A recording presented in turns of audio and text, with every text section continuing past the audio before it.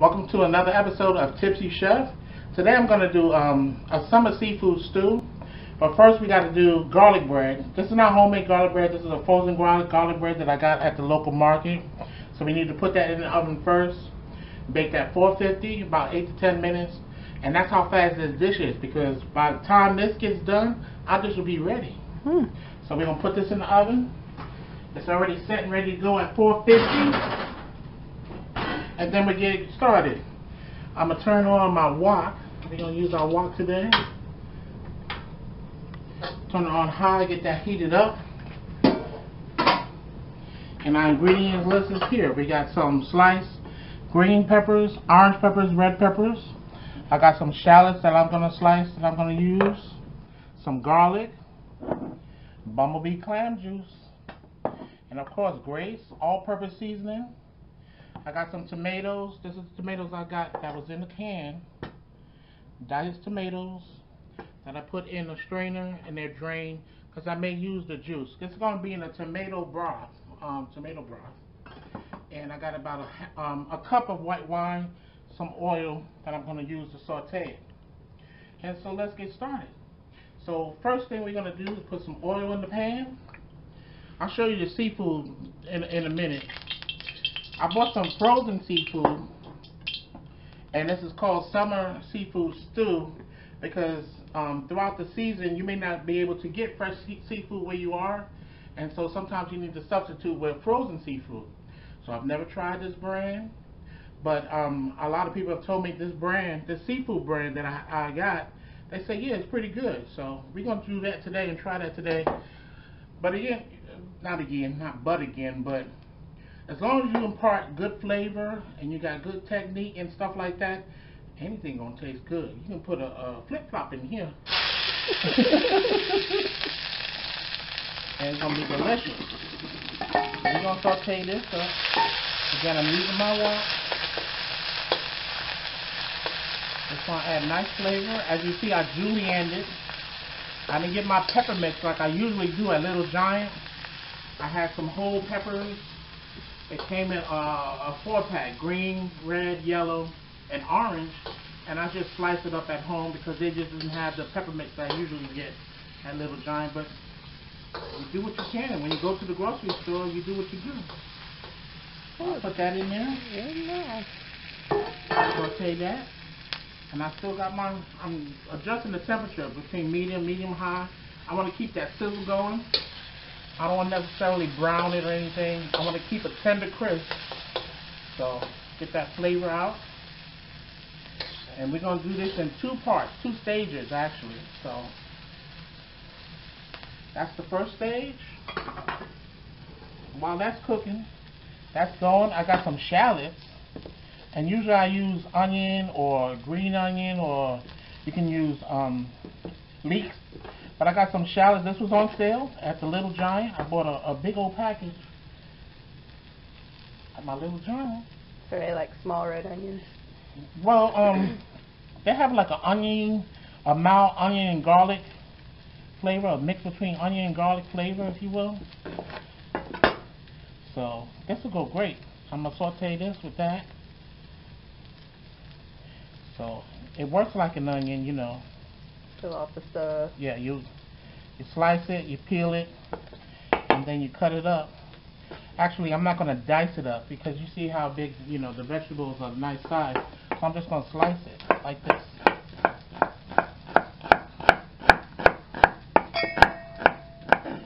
And add that to the to the pan, oh, to the wok. Nice, man. Mm-hmm. And again, it's not harsh you know, onion or garlic right. is, is mild. You know, you don't want you don't want either one component of you don't want either one component of your dish to take over the dish. True. So you know, if it says garlic, I mean, uh, like a garlic seafood or garlic chicken, it's just like oh, it's just all garlic. I don't taste the chicken. Right. It's just enhancing it. So that's what we got here. That's what I'm trying to do here. And my culinary background tells me this is going to work well. I believe it. So we stir this up a little bit more because it's getting a little bit brown. That's fine. That's still okay. Still okay. Just turn the fire down. Or then turn off. to do It. Get this chopped up real fast. Look at that.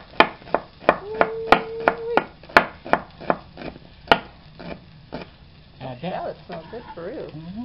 Add that to there. That little brown is gonna add flavor.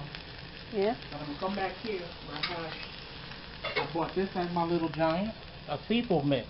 So I got mussels, it got um, shrimp, it got calamari. Wow. Yeah. So we're gonna add that. And saute this off. We're gonna add a little bit more oil. It's a quick saute because this is already this is already cooked again. But again, you wanna saute it off to get some flavor. So we added just a little bit more of one around the pan. Turn the fire off. 'cause Remember, I turned it down. That fire's going. Turn this off and up and saute it.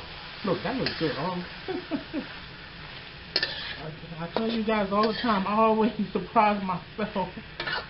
But that looks good already. We got the fire on high. And because this was frozen, that's inherent when you, free, you freeze meat or even vegetables, a lot of liquid comes out. But that's concentrated flavor. As you can see, it already has color to it. So we're going to let this sit for a minute. We're going to let this sit for a minute. I'm going to saute that. Put in the colander to drain out. It had a lot of liquid. The liquid um, is fine. It tastes fine or whatever, but I don't need all that liquid. I'm going to fortify with some flavorful liquid over here. So here I got my wok heated up, nice and hot. Another around the pan with the oil. Yeah, look. Turn this down just a tiny bit. Again, all this go fast. I got my garlic that I'm going in with. Saute this really fast. Got my shallots, some more shallots, another half a shallot. And again, this is turning Wow. turning brown real fast. As long as we don't get it too dark, we can put it up on the side of the wok so we don't get the, the big heat. Then we're going to deglaze it with some white wine. Oh yeah. That's pretty. That was a cup of white wine. Sorry. it's okay. A cup of white wine. Let this come up. We're gonna let this reduce, cook out the alcohol, let it reduce a little bit. Just a tiny bit. Then we're gonna add some clam juice. Yeah, it smells good, doesn't it? Oh, it don't smell good? Yeah, it smells good. I just never seen this before. I've never seen cooking with wine. Oh yeah. That smell of the wine once it comes to Oh, I smell the alcohol. alcohol, Wow. that's that's what's that's what's going up in the vapors. Yeah. Alcohol. First time for everything. And here we go. I also bought at the local store frozen clams and mussels. I have never used these before, but look how juicy that mussel is. And that clam. Mm, Really juicy. So what we're gonna do is they've already been steamed over, they've already been cooked. But we're gonna add flavor. So that garlic, shallot, white wine mixture. I'm gonna put these in here. Whole lot. All in the pan. Yep. I'm gonna put a little bit of the tomato sprinkled on top that I drained. Like I said, because I have a lot of liquid already with the clams and the white wine, I don't need. Sprinkle this over top. It's gonna be our broth. It's gonna cook down just a little bit, you know, because it's already cooked. I don't need to cook it that long, but I'm just adding flavor. I'm gonna sprinkle some parsley. Ooh, looking good already.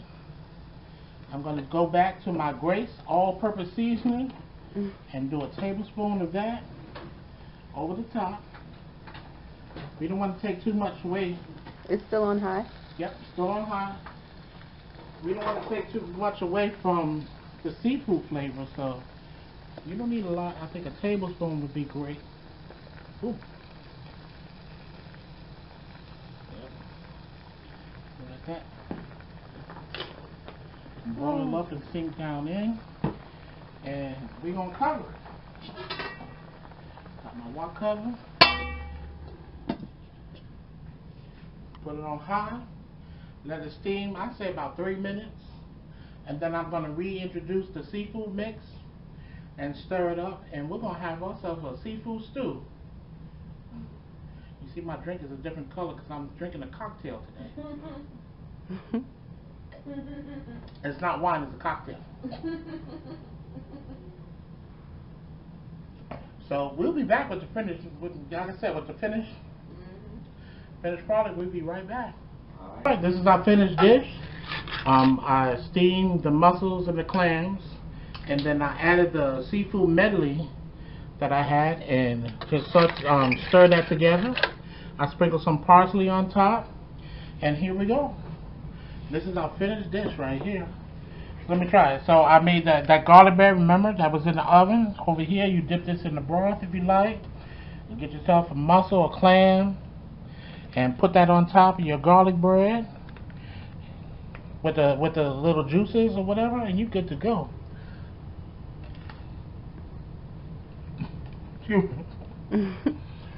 Once again, Sierra, as I tell you all the time,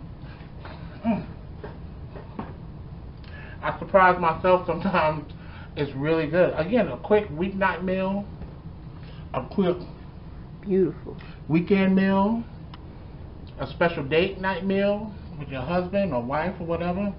Look at look how beautiful that is. And the seafood, the frozen seafood is good, is delicious and fresh. So make sure you like, subscribe, and comment. I'm still waiting for you guys' comments. Waiting for you guys to let me know what you like me to cook on Tipsy Chef. But again, I'll see you next time.